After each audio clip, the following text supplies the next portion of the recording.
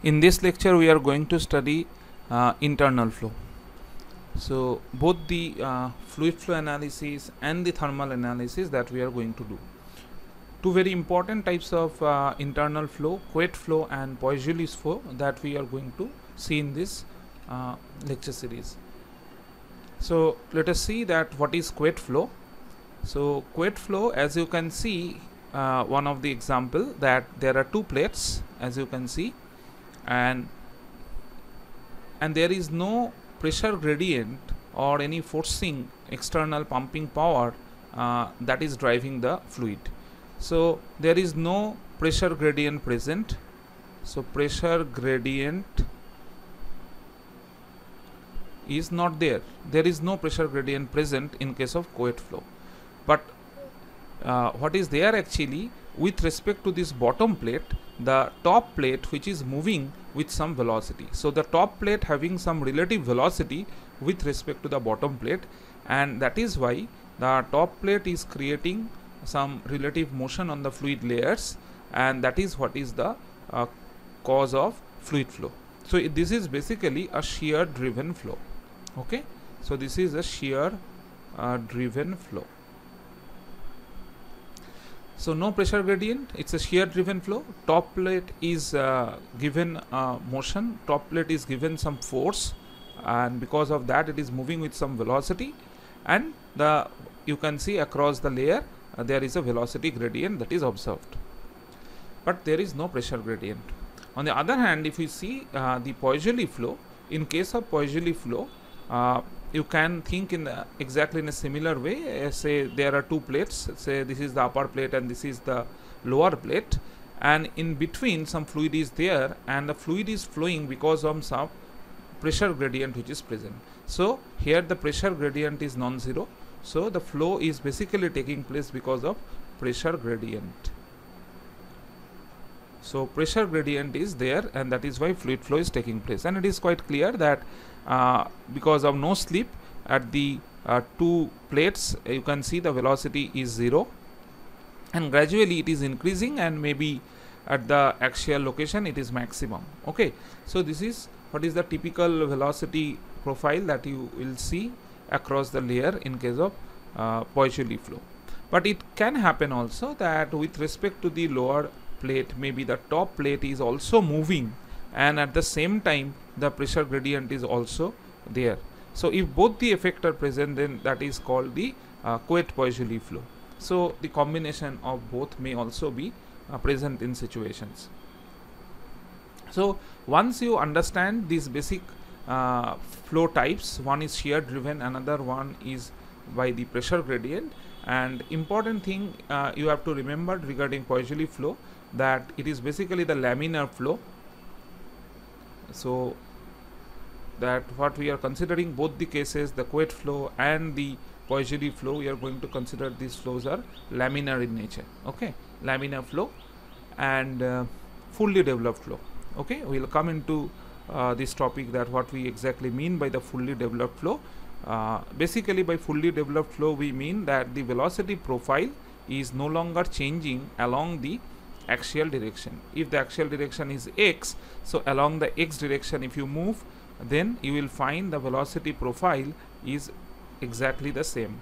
Maybe along the y direction as you can see the uh, velocity uh, is continuously changing but along the x direction there is no change of velocity profile. So this is what is the meaning of fully developed flow. Fully developed means a fully hydrodynamically fully developed flow. The same meaning is also there here in case of Couette flow also. When we do the analysis we will consider the flow to be fully developed.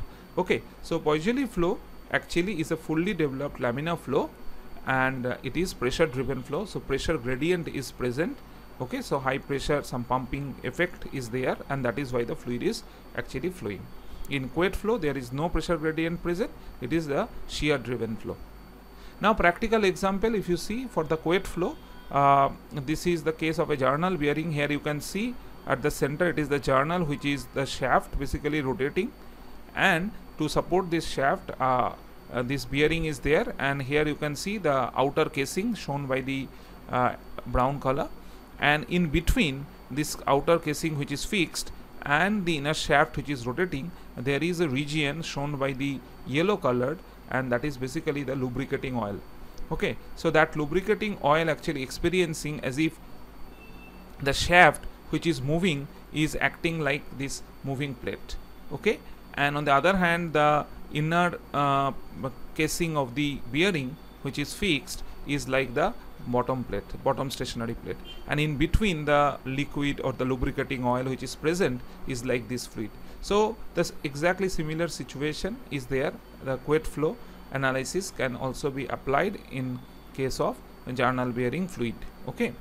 And because of the rotation of the shaft and because of the typical velocity profile the pressure field if you just uh, solve you will find that the ultimately the mm, load of the journal is taken by the hydrodynamic action of the um, fluid lubricating oil now uh, for the example of the Poiseuille flow uh, you can see the uh, flow through very small uh, diameter tubes where the flow will become laminar.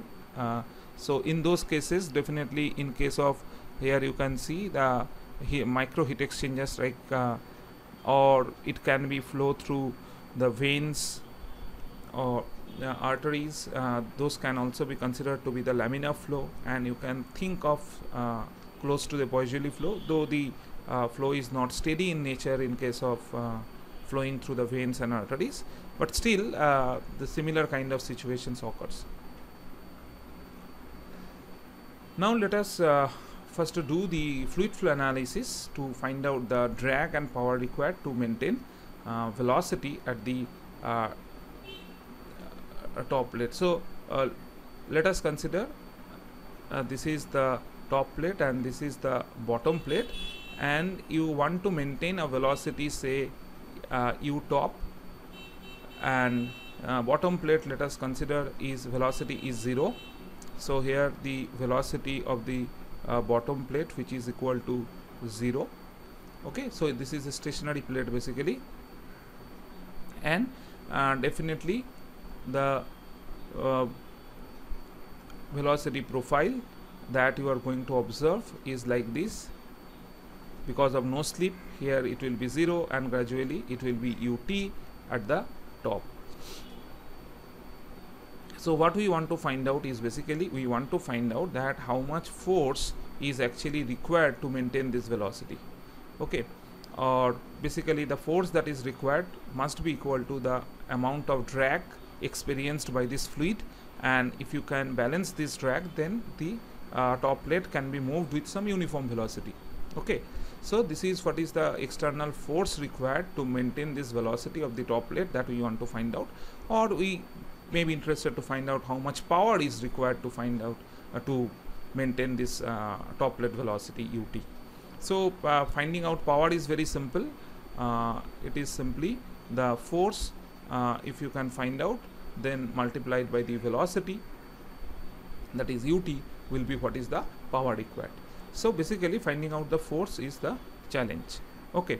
So let us try to uh, solve this problem. So we'll start with the uh, analysis of the velocity profile. So basically if we can find out the velocity profile how u is changing as a function of y because we are considering uh, it's a fully developed region so along x u is not going to change. So u is only function of y only and where this is basically the y direction.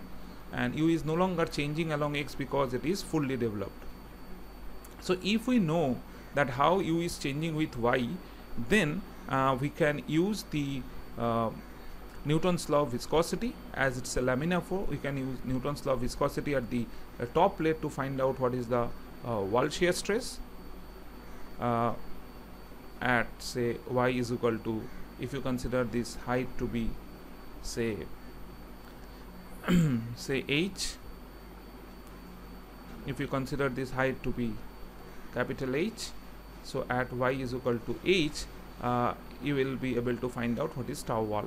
So once you know what is the tau wall then uh, you know that you will be able to find out this force because that force will be uh, integration of a tau wall multiplied by the area and this area is the uh, top plate area okay.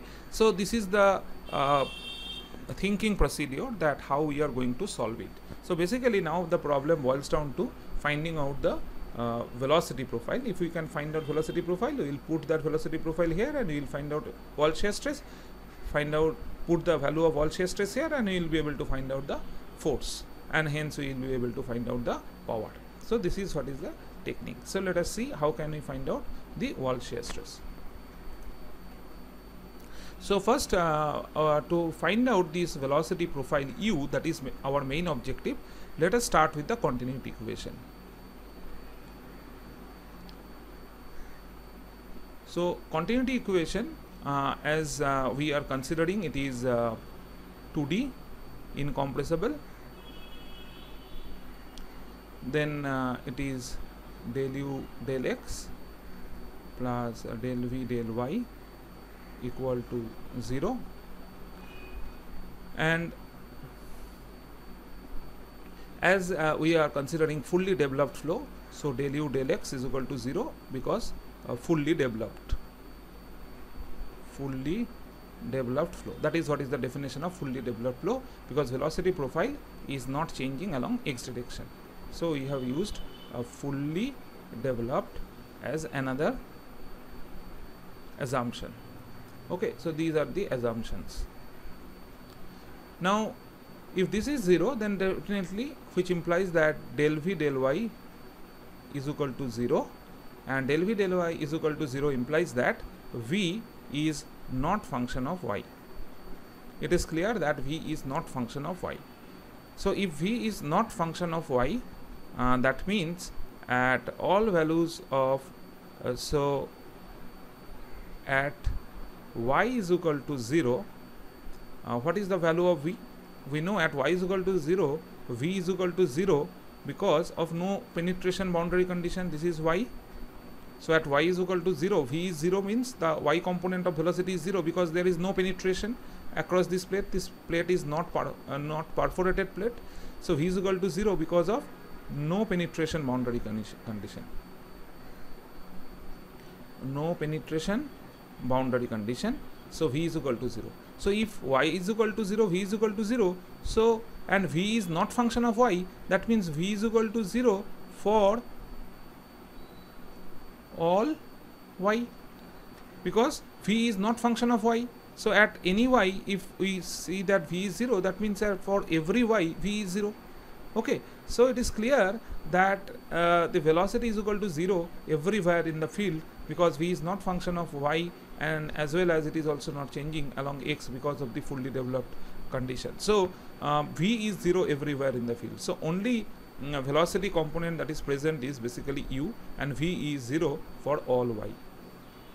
So this is the conclusion that we can make from the uh, fluid flow analysis of the continuity equation. Now let us see the momentum equation and uh, try to analyze. Okay, so what is momentum equation? So momentum equation uh, is basically the Navier-Stokes equation that we are going to write for uh, 2D definitely and incompressible. These assumptions are already there. Along with we are considering the flow is steady and there is uh, no body force. So no gravity effect we are considering. Let us consider the effect of gravity is neglected. So any other body force is also not there. And since we are uh, considering Couette flow, so no pressure gradient term, no pressure gradient term. Why no pressure gradient term? Because it's a Couette flow. That is what is the definition of Couette flow. There is no pressure gradient present. Okay, so uh, if we consider that, uh, then the equation is basically uh, that is uh, rho into u del u del x plus v del u del y. I have not written del u del t because it is a steady flow so that term I have already omitted. I am not writing the pressure gradient term. The pressure gradient term definitely is there minus del p del x but that I am not uh, writing that quantity and what else is there the viscous term that is mu into del 2 u del x 2 plus del 2u del y2 okay? And I am also not writing the body force term because that is also 0 because we have we are neglecting the body force term. So pressure gradient term body force term I am not writing. So this is basically the equation. I am just writing this rho on the other side. So that will be mu by rho and mu by rho you can write as uh, kinematic viscosity. Okay so you just write this quantity as nu. Okay so this is basically the continuity equation. Now let us uh, write this equation by non-dimensionalize the terms u. But before that what extra we can see that v is equal to 0 everywhere that we have just see uh, seen from the continuity equation we have also seen that del u del x this term is also 0 from the uh, fully developed flow. For fully developed flow we have seen from the continuity that v is equal to 0 and what else? Since uh, del u del x is 0 definitely del 2 u del x2 is also 0 for fully developed flow for fully developed flow. So what uh, else uh, remains is basically uh, del 2 u uh, del y2 which is equal to 0 okay. So del 2 u del y2 is equal to 0 that you can do one thing that is a good practice to write any equations in a non-dimensionalized form. That means you just normalize or non-dimensionalize the quantities like uh, non-dimensionalize the quantities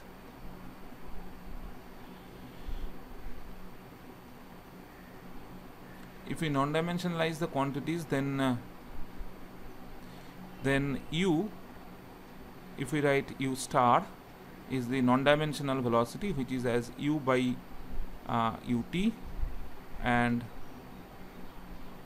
y star as y by h where h is the distance between the plate which is h. Okay if we do this uh, uh, change then what will be the form of the equation? Uh, it will be uh, it will be uh, what? U will become uh, del 2 u star del y star 2 and here will be 1 ut and here will be h square. Okay so that quantity will be 0 so which means basically it will finally give you del 2 u star del y star equal to 0 see already we have seen that u is only function of y because u is not function of x or t because it is steady flow because it is fully developed. So this partial derivative you need not to write. You can write the uh, ordinary differential. So this equation you can actually write in this way also. D2u uh, dy2 okay? So instead of partial what you can write is d2u star dy star.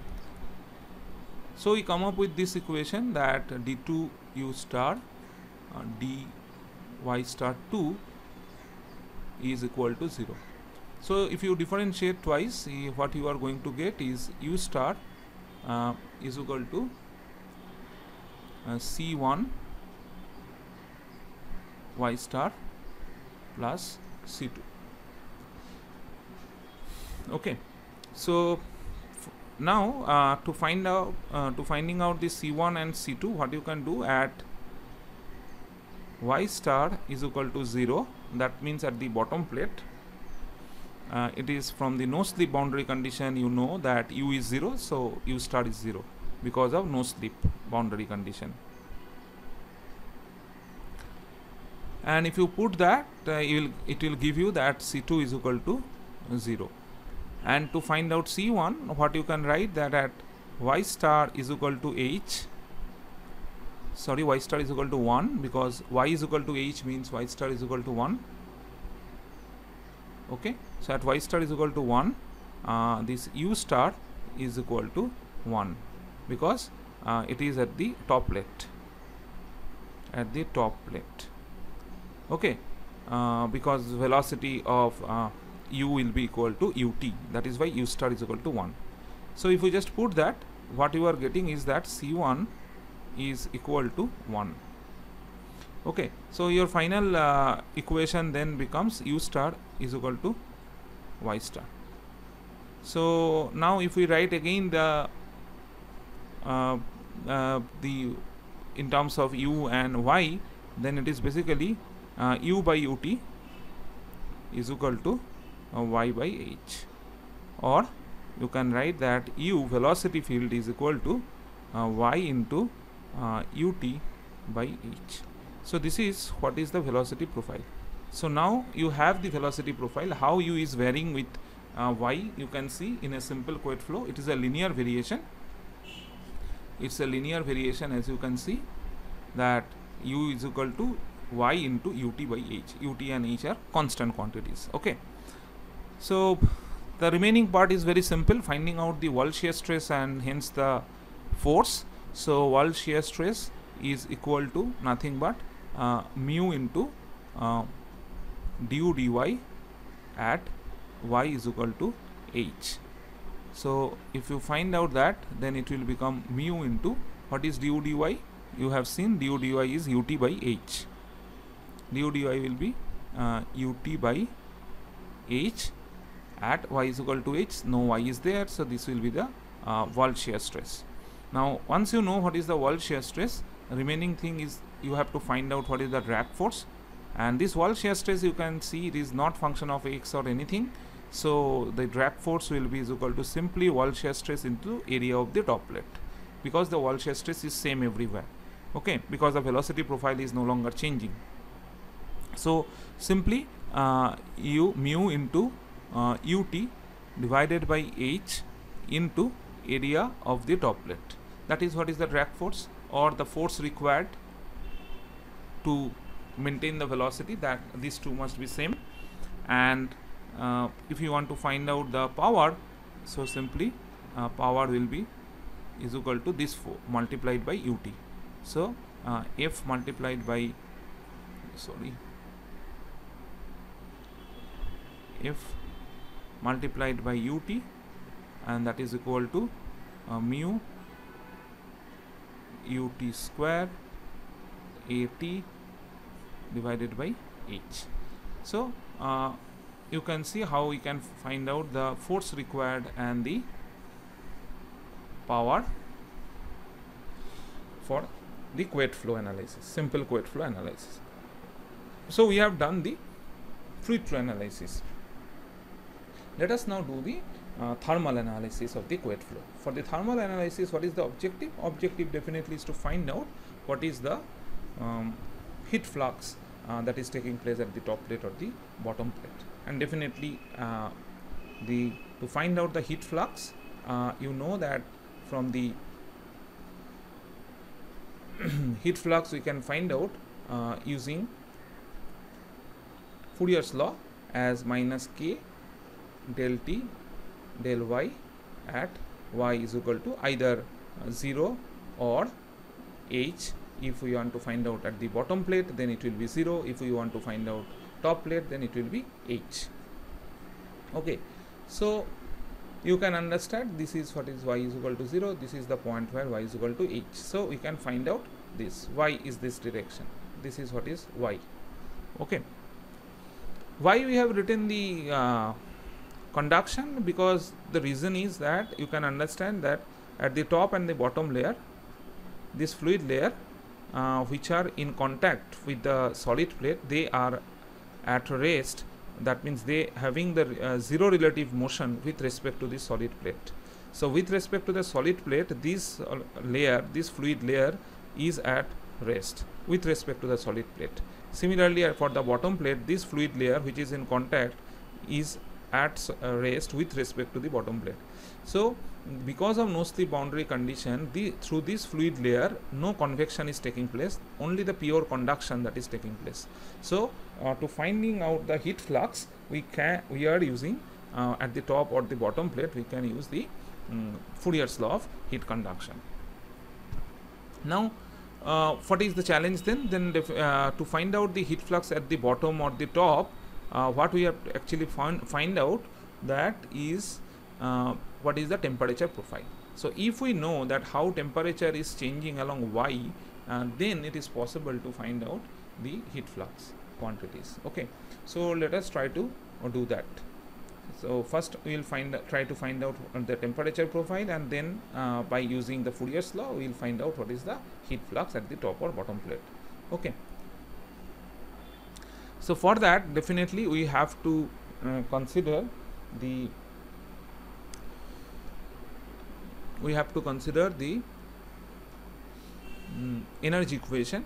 And the energy equation is uh, we are going to write for uh, other assumptions that we have already mentioned is definitely there. But along with that we will consider that there is no heat generation. No heat generation that we are going to consider. And we are also going to consider that the term containing beta that means uh, volumetric expansion coefficient is also not there for the incompressibility effect. So what uh, will remain is that rho into Cp into u into del t del x plus v into del t del y. Definitely we are uh, writing this equation for the steady flow that is why del t del t uh, with respect to time derivative is not there. And the uh, diffusion part uh, which is basically k into del 2 t del x2 plus del 2 t del y2 the heat generation part we have not uh, including in this expression. We are also not including the term containing the volume expansion coefficient that is also not there. So only in the energy equation we have to write uh, last part which is corresponding to the viscous dissipation part. Remember this viscous dissipation part is very important. For the 2D flow we already know this phi term is what? So if we write this phi term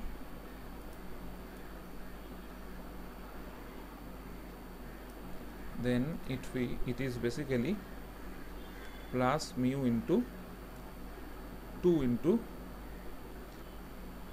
del u del x whole square 2 into del v del y whole square plus del u del y plus del v del x whole square. Okay so this is basically the uh, phi term or the viscous dissipation term for uh, 2D analysis that we have already seen earlier. Now in this expression uh, if you divide both side by uh, rho Cp then what you can do you can divide by rho Cp and you can write this k by rho Cp mu by rho Cp like this and k by rho Cp uh, as you know is nothing but the alpha. Okay. So anyway uh, so now what are the things we can see? We can uh, again non-dimensionalize the equation. Non-dimensionalize the equation.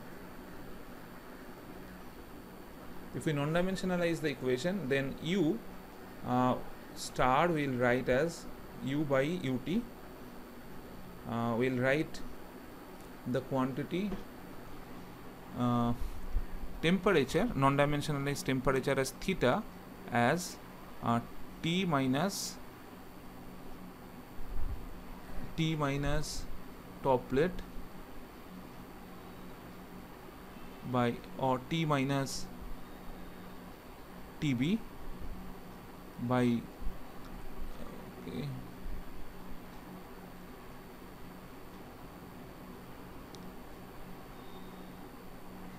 t minus tb divided by tt minus tb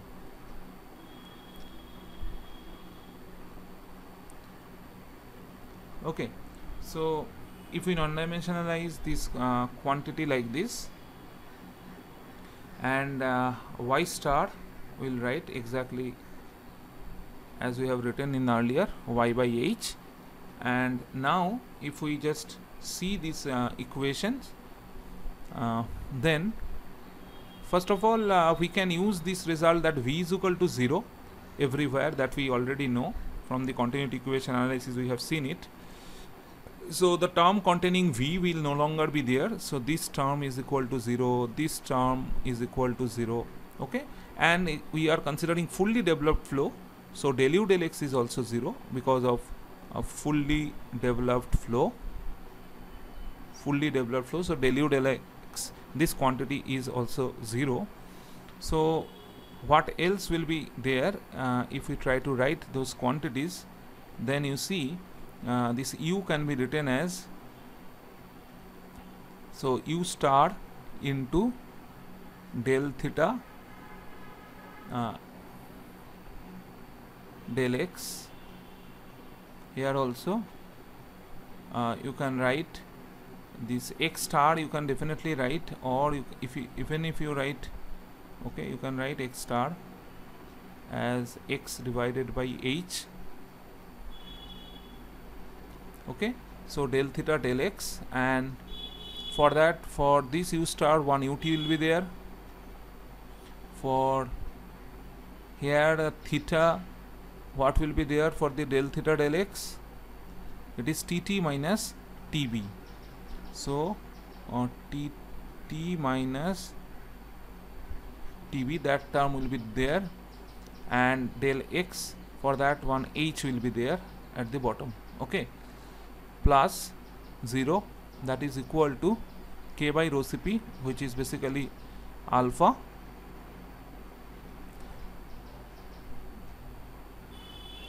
Okay let's keep it. K by rho cp and uh, del 2 theta del x2 so del 2 theta del x star 2 and what will remain is that this quantity tt minus tb tt minus tb will be there. And at the bottom it will be h squared okay? And for here at the top tt minus tb will be there and at the bottom it will be 1 by h square del 2 theta del y star 2 okay? And t, t minus tb I am actually taking common. And what else here? It is basically mu by rho cp and the only term is del u del y and del u del y u will give you ut and y will give you h and the whole square of that. So del u star del y star whole square. Okay. So these are the term uh, will be there in the expression. Now uh, the for fully developed flow so for thermally fully developed flow for thermally fully developed flow we can write that non-dimensional temperature gradient del theta del x star is equal to 0. So this is what is the definition of thermally fully developed flow. So non-dimensional temperature gradient is 0 that means that is not changing uh, this theta uh, profile is not going to change along the uh, x direction. So from that thermally fully developed relation this is the del theta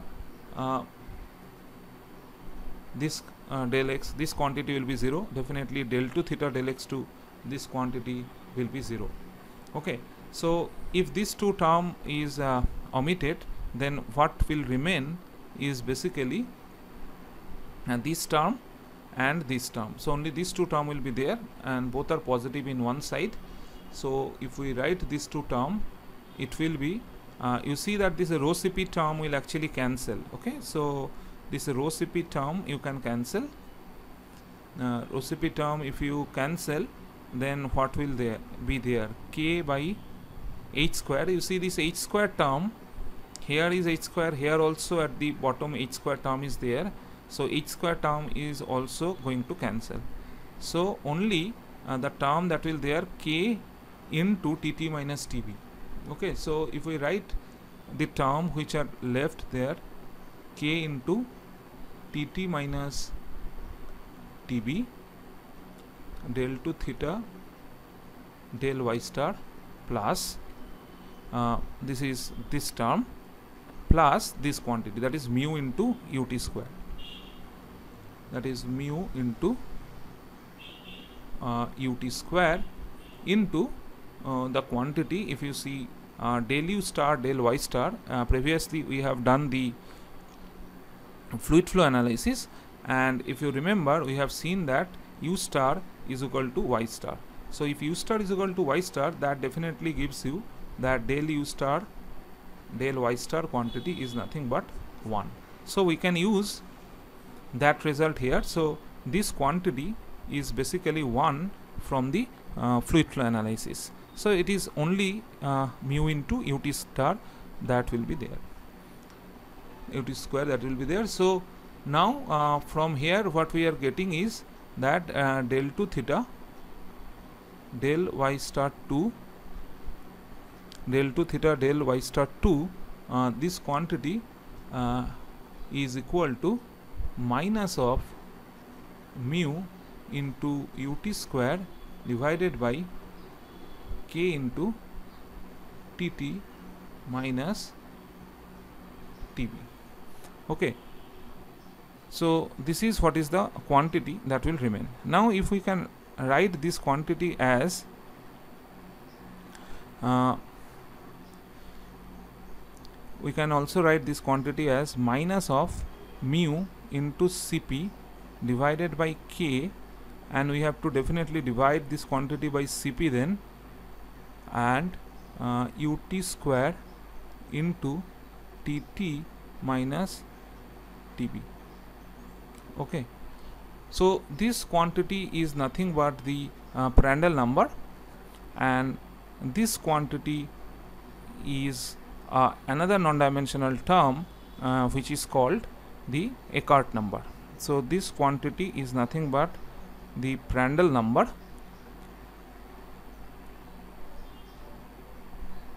this is Prandtl number and this quantity is what is called Eckert number.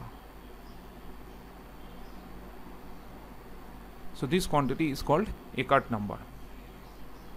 So Eckert number along with the Prandtl number definitely gives you an idea about the viscous dissipation. Because this quantity you know is basically responsible for the viscous dissipation. Okay so whether viscous dissipation is important or not that completely depends on the product of these two term okay so product of these two term that is Prandtl number into Eckert number which is actually responsible for the viscous dissipation this product is again another non-dimensional norm number called the Brinkman number okay? So Brinkman number. So this is the quantity which is responsible for the uh, viscous dissipation term. So now uh, from here if we just continue our analysis that to find out the uh, temperature profile at least the non-dimensional temperature profile and that is equal to minus uh, Prandtl number into Eckert number so if we just simply integrate and if we find out what we are getting since uh, this theta star is not function of x anymore it is only function of y so need not to write this partial. So what you can write is that simply uh, d theta star dy star is equal to minus Prandtl into Eckert so definitely uh, sorry so that way is going to give you uh, d theta star dy star is equal to minus Prandtl into Eckert into y star plus some constant say c1 and finally theta star is equal to minus Prandtl into Eckert into y star square by 2 plus c1 y star plus c2 so this is what is the uh, equation. And to find out this c1 and c2 what you can write is that at uh, y star is equal to 0 that means at the bottom plate uh, it is definitely this theta star uh, which is equal to 0 because uh, if you remember uh, sorry not theta star actually. Why I am writing theta star? Because theta is what is the non-dimensional quantity. It is not theta star sorry. Okay. So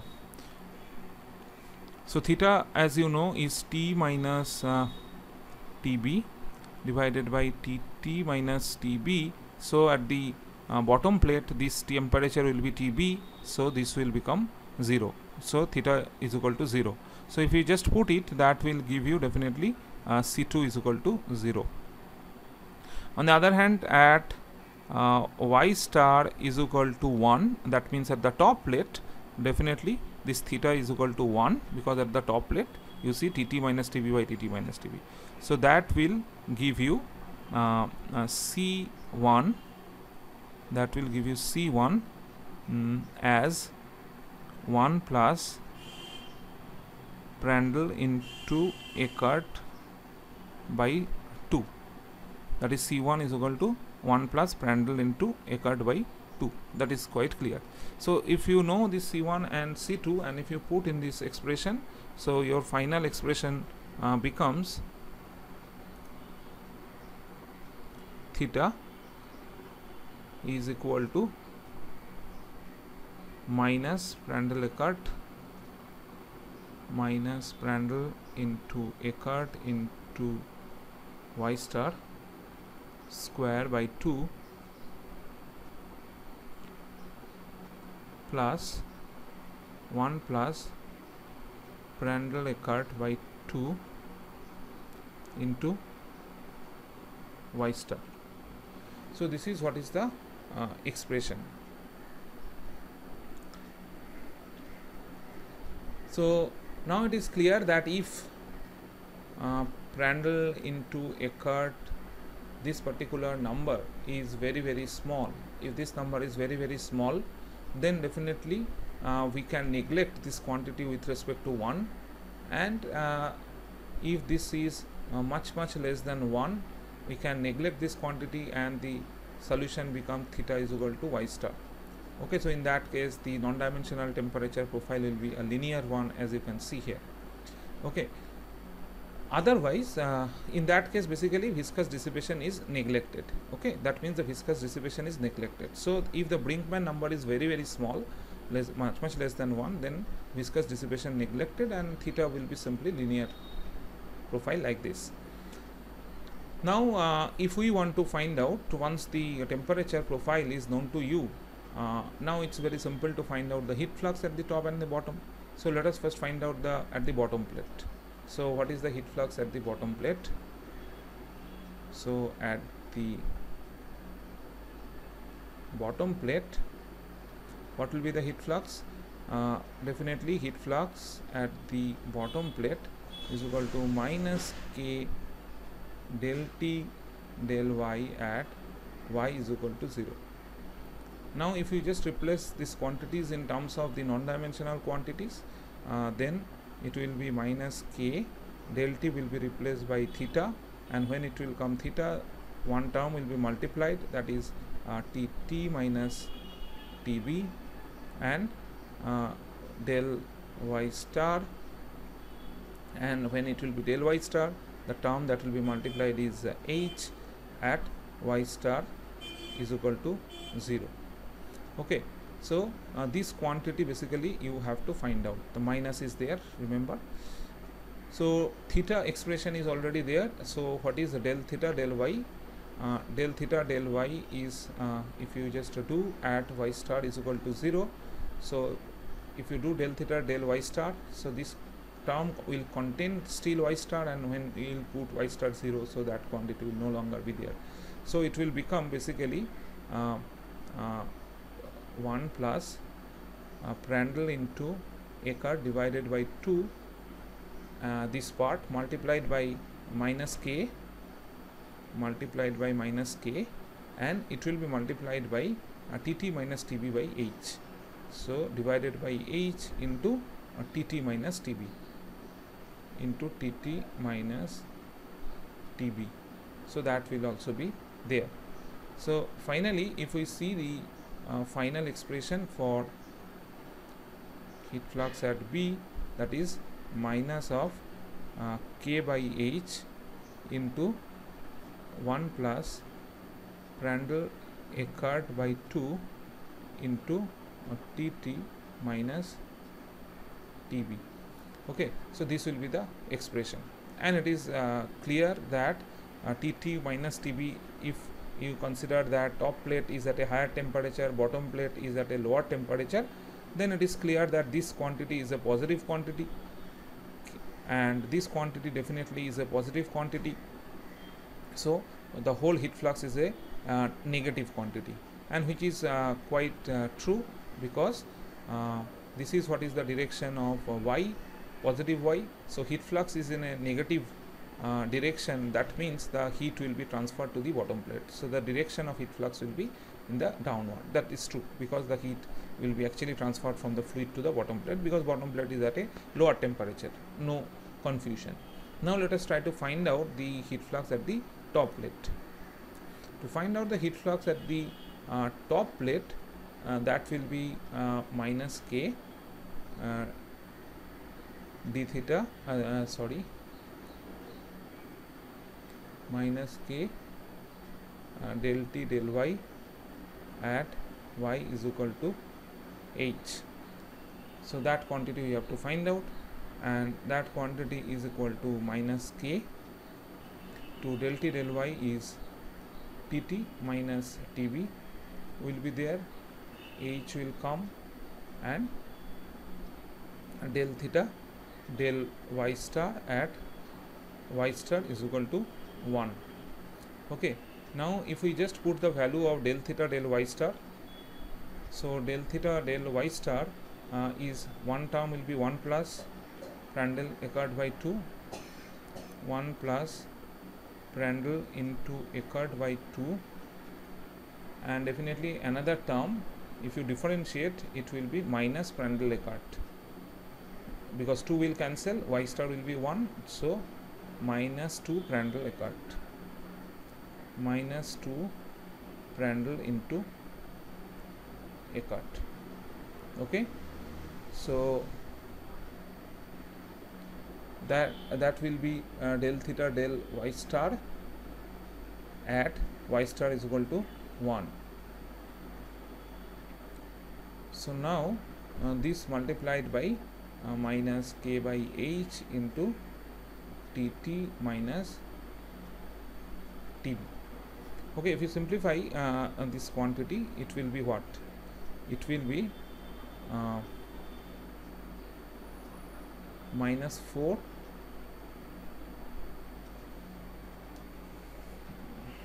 okay let's check uh, okay sorry here minus Prandtl Eckert by 2 into y square. It was sorry it was y 2 into y square. So 2 y square minus Prandtl Eckert so minus Prandtl Eckert so that 2 will not be there. Sorry. If you differentiate that 2 will not be there because that 2 is going to cancel. So only minus Prandtl Eckert okay.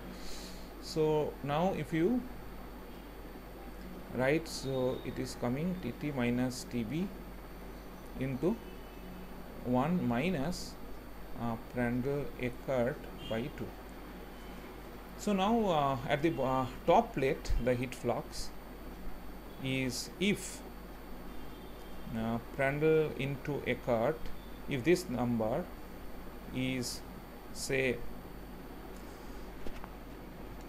if this number is say less than 1 if this number is less than 1 so if this number is less than 1 uh, suppose uh, initially let us consider this number is greater than 1 okay? If this number is greater than 1 so if this number is greater than 1 then definitely this quantity will become negative. Okay? This number is negative. This number is a positive number. This quantity is a positive number again another negative. So the heat flux will become so that implies that heat flux in that case will be positive because one negative another negative so heat flux will become positive. So what is the meaning of heat flux will become positive? So heat flux will become positive means that in this case you see this is the direction of y and the heat flux is positive means the heat will transfer from the fluid to the top plate heat will transfer from the fluid to the top, top plate. Okay? So but you know that the top plate is at a higher temperature bottom plate is at a lower temperature. It is expected that the heat will be transferred uh, from top plate to the fluid right? But what is happening you see that uh, it is just uh, opposite. Heat flux is positive means the uh, heat is actually taking uh, heat flux heat is transferring from the fluid to the top plate though it uh, seems unphysical but practically this is true because uh, because of the viscous dissipation within the fluid because of the viscous effect heat is generated okay? And that heat uh, actually uh, required to be released through the top plate and bottom plate okay? That is why uh, you will find that the temperature may be uh, inside the fluid will be more than the top plate because of the viscous dissipation. If the viscous dissipation is more than uh, is such that uh, such means this condition if the uh, Prandtl into Eckert is greater than 2 if that situation occurs in that case this happens okay? The heat flux at the top plate will be positive. But if uh, maybe viscous dissipation is there but it is not so high like Prandtl Eckert by 2 is less than 1 if that is the situation in that case you can see this quantity will become a positive quantity and the heat flux will become a negative. That means heat will be transferred from the top plate to the fluid which is quite intuitive because the top plate is at a higher temperature okay?